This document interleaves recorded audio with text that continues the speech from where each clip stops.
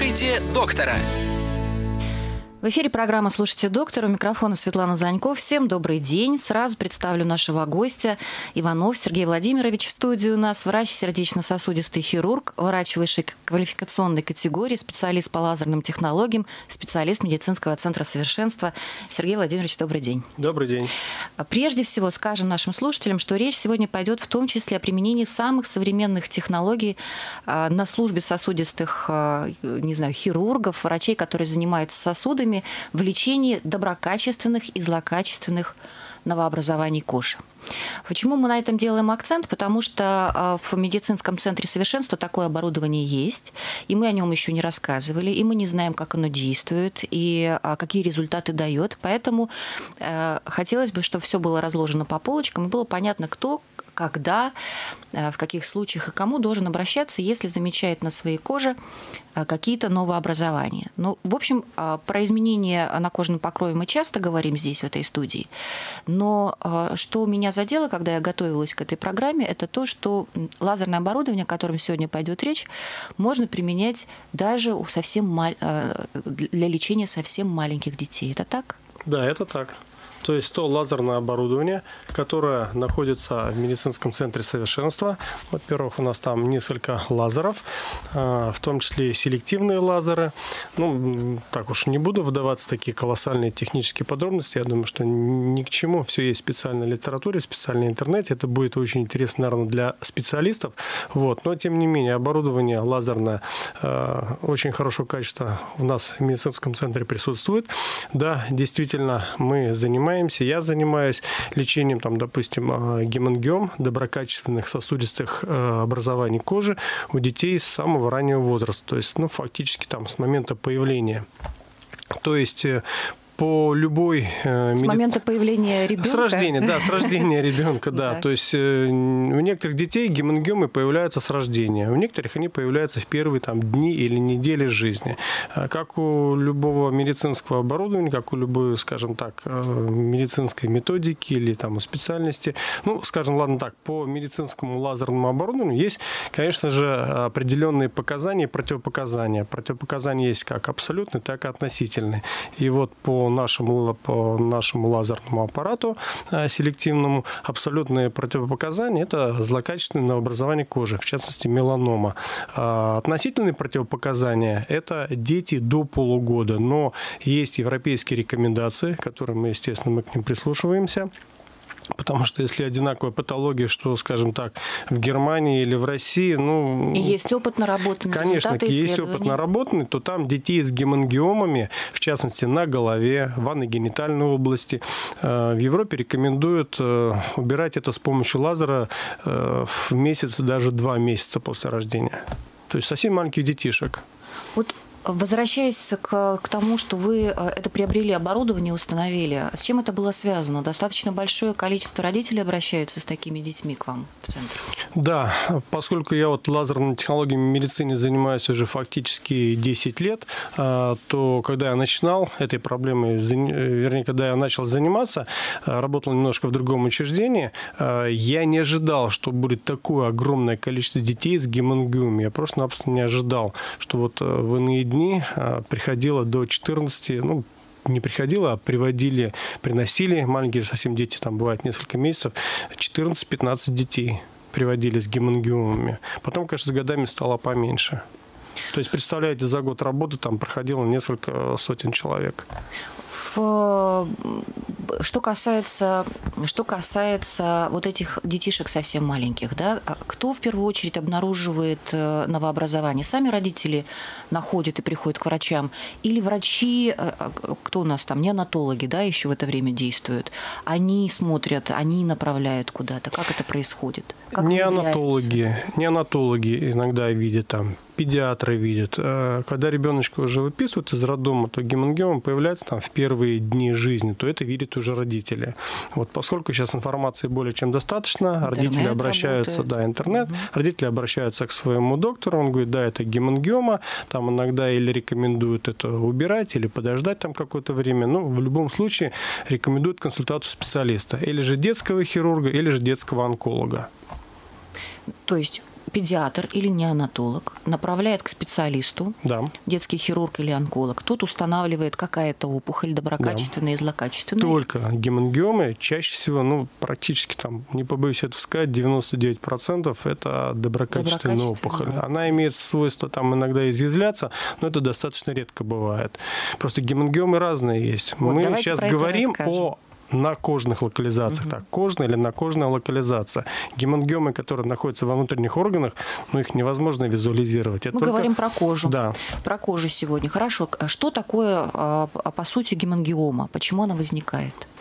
Причина возникновения гемангиома в настоящий момент пока еще неизвестна. То есть э, по статистике, по э, исследованиям различным, э, она на голове возникает в несколько раз чаще, чем на остальных участках тела. И тоже непонятно почему. Непонятно. У девочек чаще, чем у мальчиков 4-5 раз. Это И тоже, тоже доказано. Предположение, что у девочек чаще, чем у мальчиков по одной, ну, предположение такое, что девочки, соответственно, соответствующий эстрогеновый фон гормональный.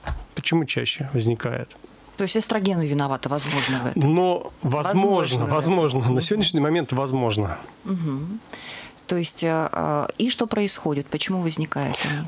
Ну, в смысле, как, как они выглядят в итоге? Что происходит с сосудами? Что происходит с кожным покровом? По большому счету, если так просто сказать, гемангиома – это как, можно сказать, такая губка с огромным количеством сосудов, которые расположены на коже или на слизистых, или внутри кожи. Гемангиомы есть капиллярные, кавернозные или смешанные, капиллярно-кавернозные. То есть это разного, разные по размеру сосудики видоизменяются? Очень мелкие. Чаще это очень мелкие сосуды. Они разрастаются как-то или что с ними происходит? Э, За счет да. чего возникает сама вот эта это же опухоль? Это опухоль. Она доброкачественная. Но поскольку она так быстро растет, то решили считать ее опухолью.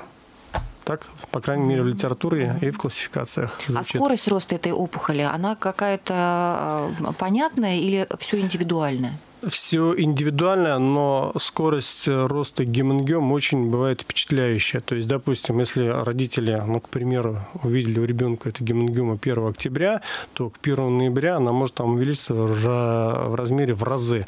Ну, была она, допустим, размером там ну, диаметром 1 сантиметр. К 1 ноября она может достичь уже 5 квадратных сантиметров. То есть она очень быстро растет. Почему некоторые родители к нам приезжают там в ужасе, в шоке, что, господи, была совсем маленькая гемангиома, там за неделю, там, ну, не за неделю, допустим, там за месяц, за два месяца она выросла в разы. А самое впечатляющее по размерам гемангиомам на вашем опыте? Как выглядит? На моем опыте это была гемангиома на волосистой части головы, наверное, диаметром сантиметров 10. Капиллярно-кавернозная гемангиома на Э, височно-теменной области ну, представьте, такая лепешка вот размером с ладонь, такой, ну, среднестатистического человека, через который растут волосы. Ну, не знаю, можно так в прямом эфире говорить, как представить, такая кровяная лепешка, через которую растут волосы. То есть об операции какой-то родители там даже разговоров не заводили, что там оперировать у маленького ребенка. Ну, вот это был мой первый опыт, так сказать. Все благополучно закончилось. Конечно, не с первого раза, пришлось делать там не один, не два, и не три раза, но все закончилось благополучно. Сейчас этот ребенок ко мне уже, помню, не приходят. Они, по последний раз приходили два или три года назад. Ну, там взрослый парнишка уже, там практически никаких следов на голове не осталось. Волосы растут все ровно, а кожа небольшие, где-то есть рубцовая деформация и все. Вот вы устанавливаете диагноз, что это гемангиома, доброкачественная опухоль. И дальше как выбирается метод лечения? Метод лечения, э, если это э, капиллярная гемангиома. А, чем она ярче, с четкими границами, предпочтение сейчас в мире в основном это лазерное воздействие на гемангиому. Существует еще а, криодеструкция, но, насколько я знаю, насколько я располагаю это информацией, да, это воздействие холодом криодеструкция, она в некоторых учреждениях уже просто-напросто запрещена. Вот, потому что, допустим, гемангиома находится на лбу или на щеке. После криодеструкции иногда возникают такие рубцы, что этот метод просто-напросто порочный. Вот. Существуют еще оперативные методы лечения, но, опять же, если гемангиома находится на видимых участках тела и сечет гемангиому, и последующий там будет рубец, ну, простите, действительно, зачем заведомо уродовать ребенка рубцом, который будет на всю оставшуюся жизнь, просто-напросто. Некоторые гемангиомы э, э, у некоторых гемангиом бывает так называемая инволюция, обратное развитие. Но это очень нечасто, честно говоря, очень нечасто такое бывает. И тоже непонятно, почему возникает этот процесс, прогнозировать его нельзя, правильно? Невозможно. Mm-hmm. Иногда в некоторых учреждениях рекомендуют ждите до года, ждите до года. Ну, простите, если у ребенка гемангиома, там, нос, лоб или щека, или занимает там все верхнее, нижнее веко, это видимые участки тела. Ждать до года, а если она не рассосется? Чем меньше ребенок по возрасту, чем раньше начато лечение, тем гораздо лучше результат. Я не побоюсь этого сказать, что в некоторых случаях с гемангиомами я гарантирую стопроцентное излечение полностью. И рецидивов не бывает. Вот сейчас э, Сергей Владимирович важно, я боюсь, конечно, важную фразу сказал, да. важную фразу сказал, что не побоюсь этого сказать. Но, То тем есть, не менее. Понятно, а, понятно, что там гарантировать э, излечение, ну, практически, мы даже по законодательству не можем там в эфире говорить, что бывает стопроцентное излечение. Хорошо, что 99%. Бывает. Да, но вот что касается э, воздействия, как раз я хотела, Сергей Владимирович, с вами и поговорить. Что происходит в процессе лазерного лечения? То есть, когда иссякается опухоль, понятно, ну что такое, разрезали, вырезали, зашили там, да, и дальше смотрим, возникнет, не возникнет э, в другом месте, в этом неясно, непонятно. Что происходит, когда воздействует лазером и на какие участки кожи воздействует лазером? Только ли одну опухоль берут или соседние участки тоже иссякаются? В самом начале я сказал, что у нас э, несколько лазеров, один из этих лазеров, он селективный, то есть он работает на определенных длинных волн, и он воздействует только на те ткани, которые нужно убирать. Да, конечно, там в процессе работы лазер попадает на здоровую кожу, но это минимальнейшее повреждение, там какие-то десятки микрон. Это ничтожно мало. Поэтому лазер работает на определенной длине волны, определенные характеристики, и он воздействует только вот на эту вот измененную ткань, то есть на саму гемангиому. Это длительная процедура, и сколько их нужно? От чего зависит количество? Чем площадь гемангиомы, чем она ярче, тем меньше количество сеансов. Обычно, вот когда гемангиома плоская и яркая, то есть такого красно-кирпичного цвета, иногда гемангиому уходит за 2-3 раза. Ну, на 99%. Угу, угу. Вот. Когда гемангиомы кавернозные, там, То допустим... они такие уже большие, Да, они когда выпуклые. большие, они уходят в глубину тканей, такого синеватого цвета, то там, а, особенно локализация на голове, там иногда бывает а, и 10, и 12 сеансов, особенно на голове. А длительность этого сеанса за один раз? Зависит от площади гемангиома. Если, допустим, площадь гемангиома 1 квадратный сантиметр, то от 30 секунд до 2 минут, где-то так. Какая-то специальная подготовка перед сеансом требуется пациенту и после сеанса как он должен себя вести? Обработка антисептиком место воздействия всегда, но это уже, так сказать, по умолчанию, это даже не обсуждается. А, затем, если есть возможность, мы наносим анестетик местный, специальные кремы гели существуют. Иногда делаем местную анестезию инфильтрационную, ну, то есть вводим анестетик с помощью шприца, иголки. Это по просьбе но... пациента или кому-то показано? Нет, нет, нет. Процедура малоболезненная. Честно говоря, малоболезненная процедура, поэтому а, иногда, скажем так, риск анестезии. Я родителям говорю, что процедура мало болезненная в любом случае. Дети во время процедуры пищат, э, плачут очень многие, даже когда еще ничего не начали делать. От страха Совершенно, да. Волнуются. Ну да, от страха там волнуются. Как с, взяли ребенка за руки, за ноги, э, зафиксировали голову, там глаза закрыли, что, потому что лазерное излучение, mm-hmm. оно все-таки опасно, там глаза зафиксировали, специальные щитки или очки. Ребенку уже не нравится вот это ущемление свободы, он уже начинает плакать и вести себя, ну, капризничать просто просто-напросто. Вот. Ну и все по большому счету. То есть процедура мало болезненная. Я иногда родителям предлагаю, там, папе или маме, давайте мам сделаем вот кратковременное воздействие куда-нибудь там на предплечье, буквально там, ну, секунду, две секунды. Они говорят, нормально, это абсолютно терпимо. И дети еще это наблюдают, да, если Конечно. что папа не запищал, значит, все хорошо. Но если ребеночку полгода или три месяца, он не наблюдает он еще ничего. не наблюдает. Это Когда дети постарше, там уже бывает, что приводят детей там уже, ну, не с гемангиомами, а с капиллярными дисплазиями, там дети постарше, там от 6 до 12 лет. Э, там уже, конечно, с ребенком нужно там о чем-то договариваться, там делаешь анестезию. После того, как проводится детям лечение гемангиомы с помощью лазера, остаются ли какие-то следы на коже? Любое лазерное воздействие – это всегда ожог. В любом случае. Как бы там красиво лазер не называли, это всегда э, идет ожог. Ожог не первой степени, там вторая, третья степень. То есть там всегда образуются пузырьки или какая-то корочка и водянистое содержимое. Вот корочка держится там от 5 до 14 суток, то есть тоже индивидуальные особенности кожи. Потом эта корочка сходит, так она корочка везде в литературе ее нашей медицинской называется, и э, корочка сошла, то есть гемангиома становится гораздо бледнее, прям так мозаично. Угу.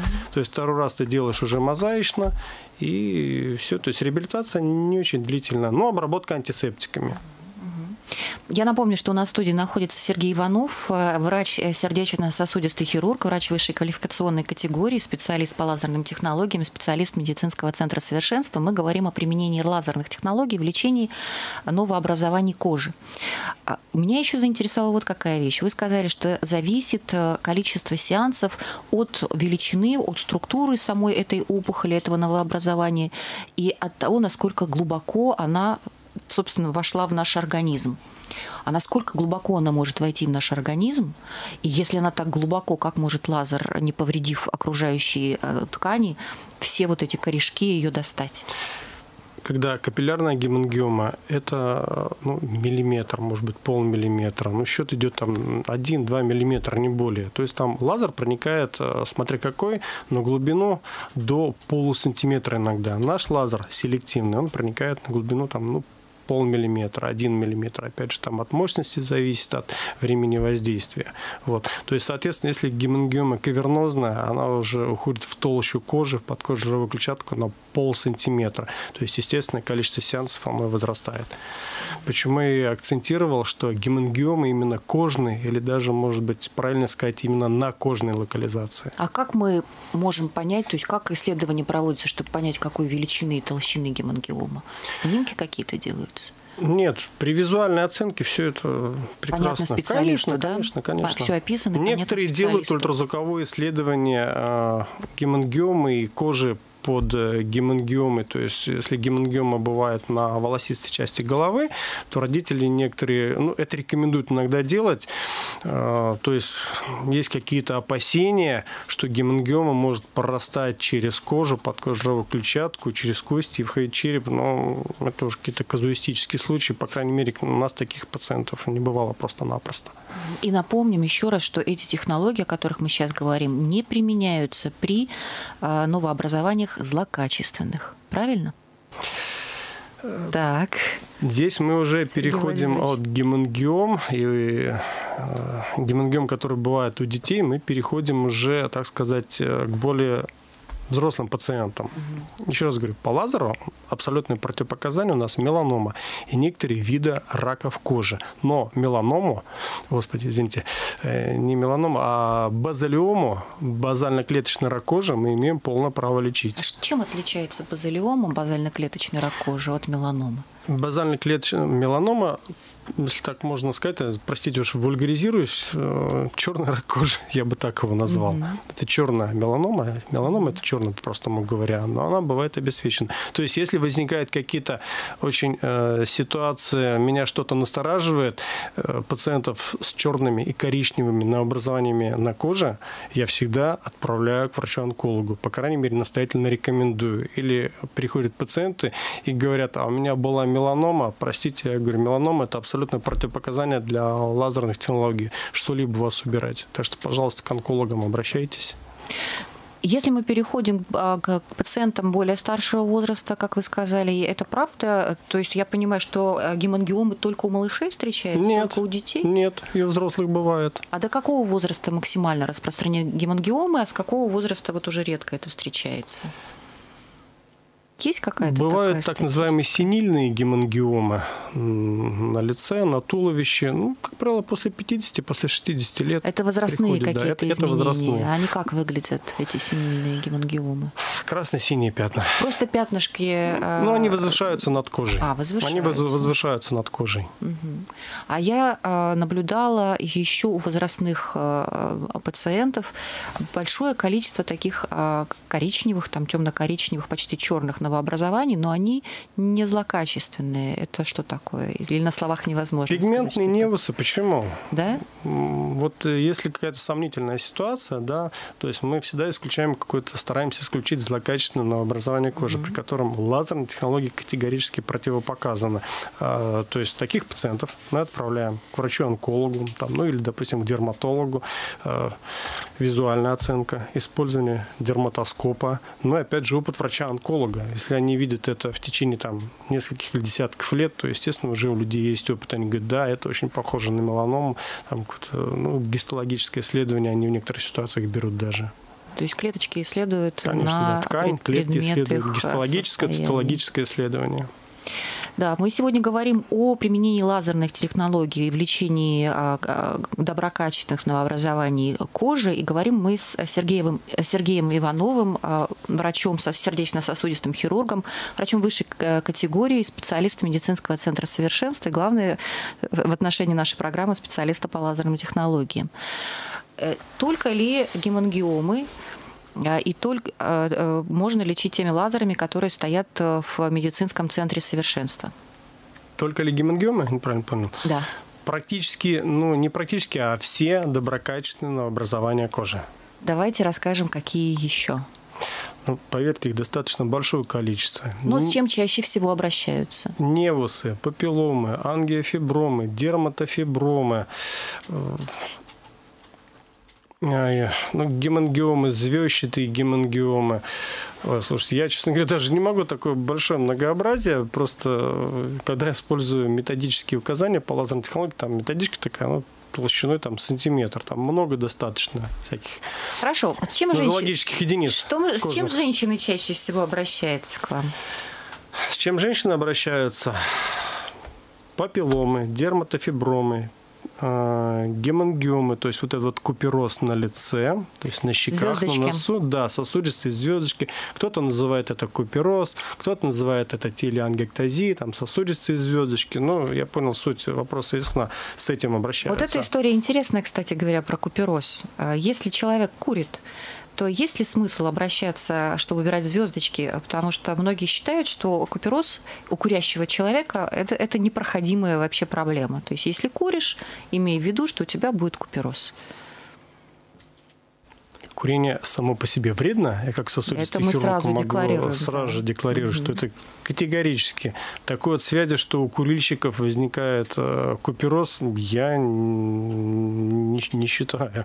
Нет такой, вы ее не... не... Нет. Но это распространенный миф в таком случае получается. Да, по крайней мере, я такой, такой корреляции, что у курильщиков купероз сплошь и рядом то есть, если курильщик пришел делать, э, убирать вот эти сосудистые там звездочки, то э, я, я почему задала такой вопрос? То есть бесполезно ходить убирать, пока нет. не бросил курить? Нет, нет. Ради бога, курить или не курить это личное дело человека. Купероз я все равно, э, ну или в другом учреждении человеку уберут э, мое мнение по поводу не курения, а возникновения купероза. Мы живем в климате от минус 40 до плюс 40. Наша кожа, естественно, реагирует в конечном итоге. Вот то холод, то мороз. Опять же, вода может быть у нас где-то не очень хорошая, возможно. ОРЗ, то есть ОРЗ, да, человек использует там носовой платок, вот он и себе здесь около носа. Около носа да, конечно, возникает. конечно. На крыльях носа наиболее частая локализация. Что касается папиллом, о которых вы уже сказали, вот эти неприятные такие маленькие противные выросты на коже, да? Не всегда маленькие. Иногда такие, я их называю сосульки гирлянды, вырастают на веках, на шее, в подмышных областях, в паховых областях. Ну, что есть, то есть. Угу. Вот. А их происхождение, происхождение папиллом понятно нам? Вирус папилломы человека. От которого есть сейчас прививка? Виру, э, вообще существует в природе порядка 30 или 40 штаммов вируса папилломы человека. То есть от всех этих э, штаммов вируса папилломы привиться. человека привиться невозможно. Да, существуют противовирусные препараты.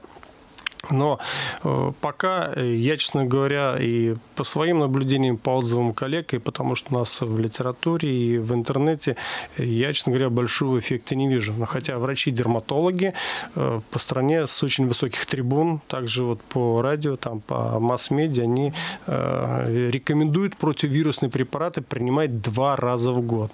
Но низкая эффективность все равно в любом случае пока.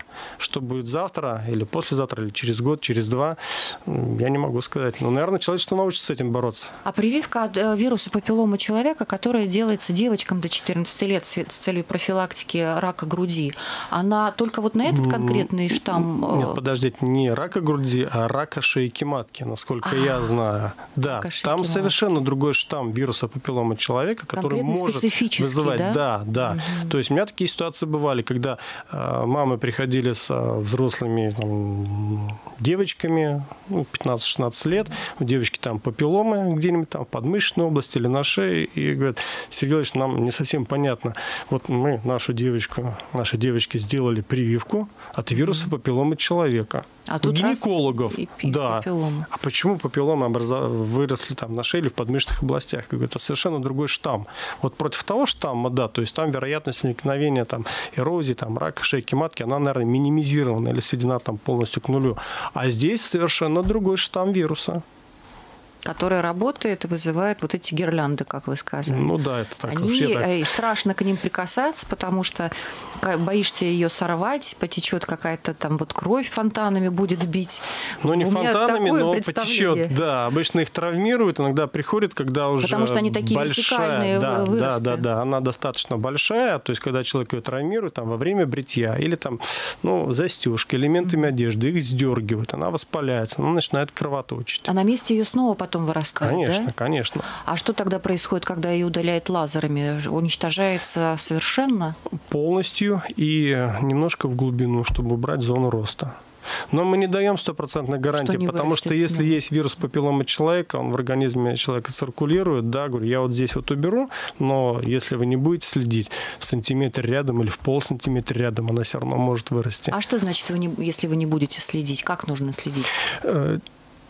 У меня достаточно большое количество пациентов, пациенток, э, у кого есть папилломы э, на на коже, ну, в разных локализациях, они иногда приходят и говорят, вот у меня есть? Я говорю, да, говорю, я эти уберу.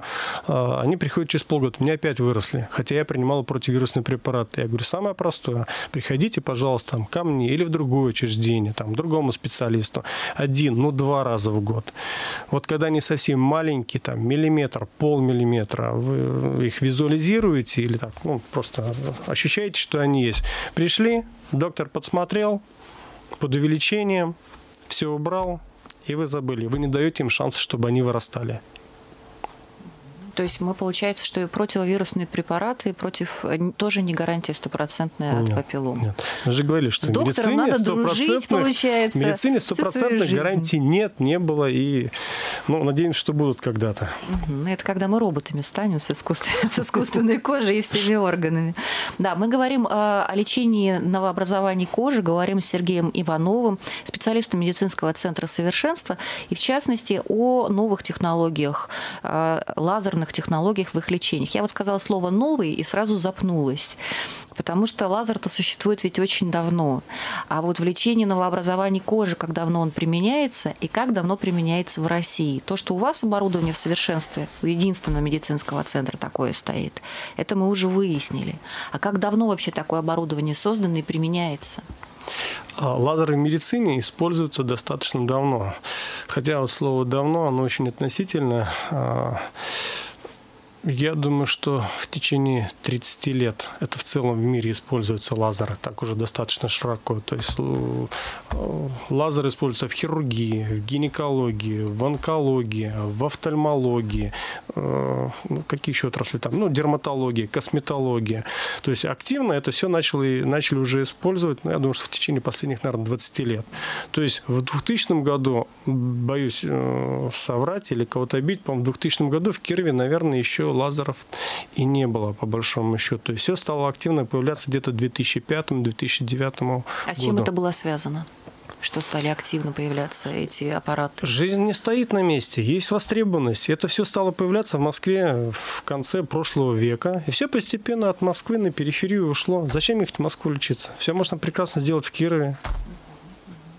Или в другом городе. Да. А лазерные технологии в лечении новообразований кожи как давно используются? То есть как мы можем проследить практику и последствия воздействия лазера? Если говорить про Киров, ну, я думаю, что это последние, наверное, лет 15-17. Это мое мнение. Это мое оценочное мнение. Вот. Потому что коллеги там некоторые могут меня поправить, сказать, что мы начали это использовать, там, может быть, 1999 года, там какие-то единичные случаи. А за границей, то есть в Европе, это достаточно давно уже используется. Но будем считать, что с 90-х годов.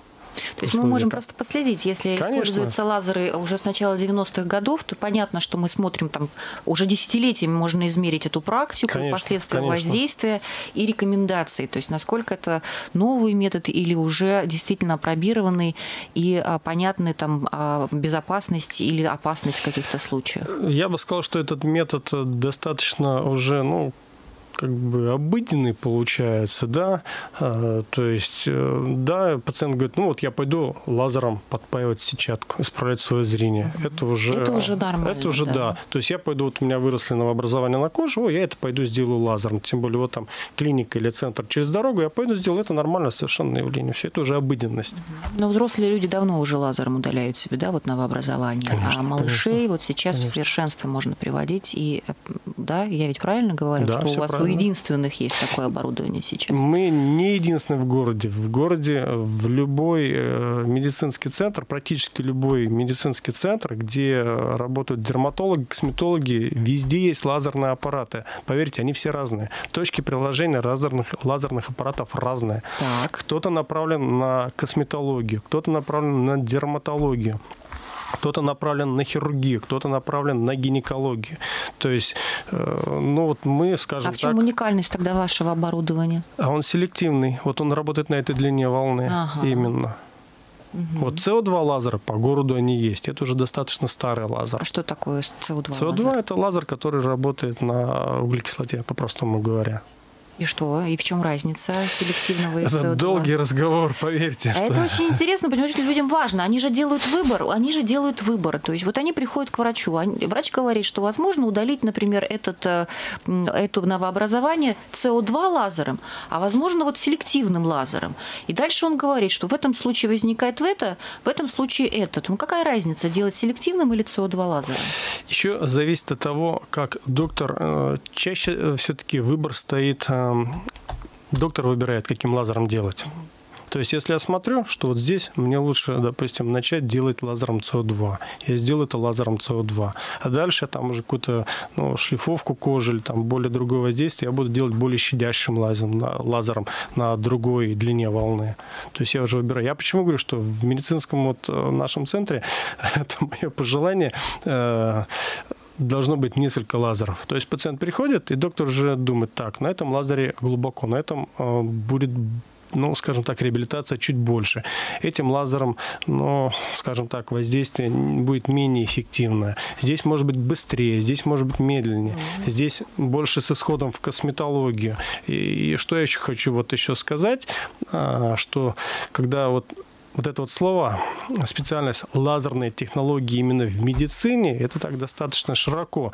То есть я вот уже спустя годы работы могу сказать, что я работаю на стыке таких специальностей, как дерматология, косметология, онкология и хирургия. Вот, у взрослых и у детей. Вот, родители иногда продолжают да, отвечать на ваш вопрос. Иногда родители бывают очень продвинутые. Они уже вопрос полностью выяснили в интернете. Э, Все в свободном доступе у нас. Э, звонок, медицинский центр. Какой у, вас, какой у вас лазерный аппарат? Регистратор говорит, у нас такой-то лазерный аппарат. Родители все ставят плюсик, допустим. Какой у доктора опыт работы? Ну, там, месяц там, или пять лет. Угу, там, плюсик или минус ставят.